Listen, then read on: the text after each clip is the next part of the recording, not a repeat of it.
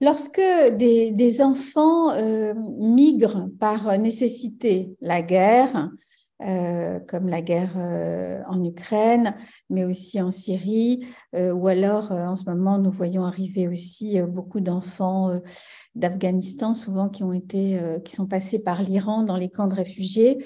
Et donc quand les enfants donc mineurs arrivent sur le sol européen en cours d'année, et on sait euh, la nécessité, euh, c'est un droit pour les enfants d'être scolarisés, mais on sait aussi, la, c'est pas seulement un droit, c'est la, la, scolarisation de ces enfants migrants euh, est une est une nécessité, j'allais dire, absolue sur le plan psychologique parce que c'est la manière de rentrer dans, dans, ce monde-là. C'est-à-dire qu'au fond, l'accueil va être vraiment euh, efficace lorsque ces enfants vont être mis dans des positions euh, d'enfants et dans des positions d'apprentissage. Et donc vraiment les scolariser en cours d'année, c'est très important.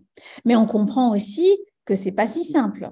Hein, des enfants qui parfois euh, arrivent dans des situations très difficiles sur le plan psychologique, euh, qui ont parfois fait des longs voyages, qui ont parfois perdu euh, des parents, etc. Donc, c'est des enfants qu'il faut absolument scolariser, c'est presque une urgence.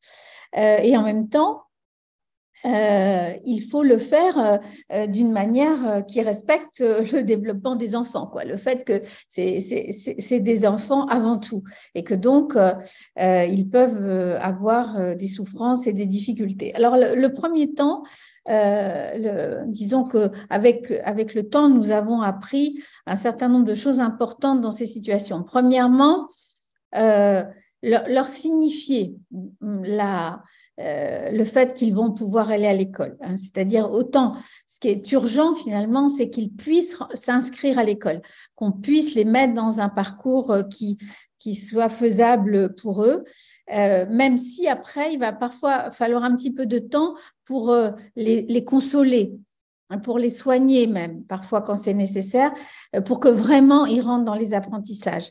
Mais et puis qu'il y a la question de la langue, il va falloir qu'ils se familiarisent. Alors, en fonction de l'âge à laquelle ils arrivent, ils vont plus ou moins facilement apprendre la langue du, pays d'accueil. Et bien sûr, il y a un minimum de temps d'apprentissage.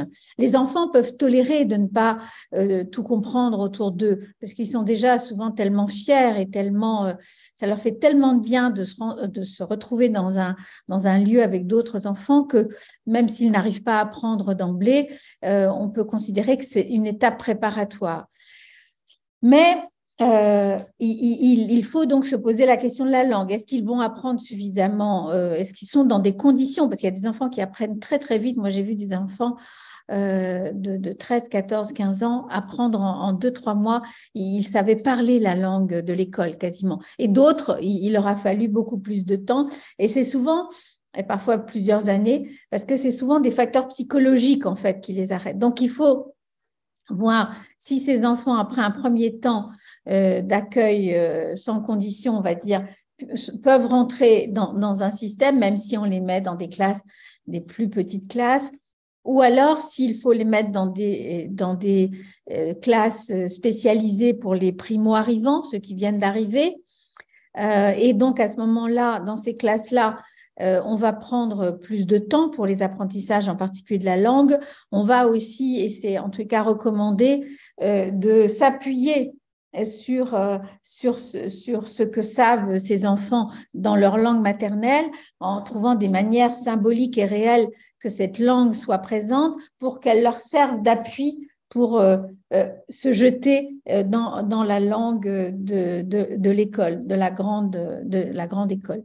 Donc, il y a, toute une, toutes les stratégies d'apprentissage euh, pour des grands enfants de, la langue, euh, de la langue seconde en s'appuyant sur la langue première. Et puis, euh, il faut que ces enfants se sentent rassurés, hein, parce qu'il y, a des enfants qui, par exemple, s'ils ont vécu la guerre ou des bombardements, vont avoir très peur. Donc, il y a, tout un temps de, réassurance. Il y a, et, si, ça ne suffit pas, euh, c'est-à-dire euh, si euh, on se rend compte que l'enfant va soit immédiatement, soit secondairement présenter des symptômes, type des syndromes de stress post-traumatique. Hein. Il, a peur dès qu'il y a un bruit, il, est très inhibé, euh, il a mal, il a des traductions somatiques très importantes. Parfois, il n'arrive pas à manger. Enfin, il y a des tas de signes des syndromes post-traumatiques des enfants, bien sûr, en particulier. Et donc, à ce moment-là, eh bien, euh, il faut euh, euh, s'occuper de ça. Moi, je, dirais en parallèle de l'école, c'est-à-dire qu'il ne faut pas sortir les enfants, les mettre dans des milieux de soins et les ramener à l'école ensuite. Dans la mesure du possible, il faut essayer de maintenir les deux et permettre qu'on les soigne en même temps qu'ils s'habituent, qu'ils rentrent dans le monde, dans le monde scolaire du pays où ils sont.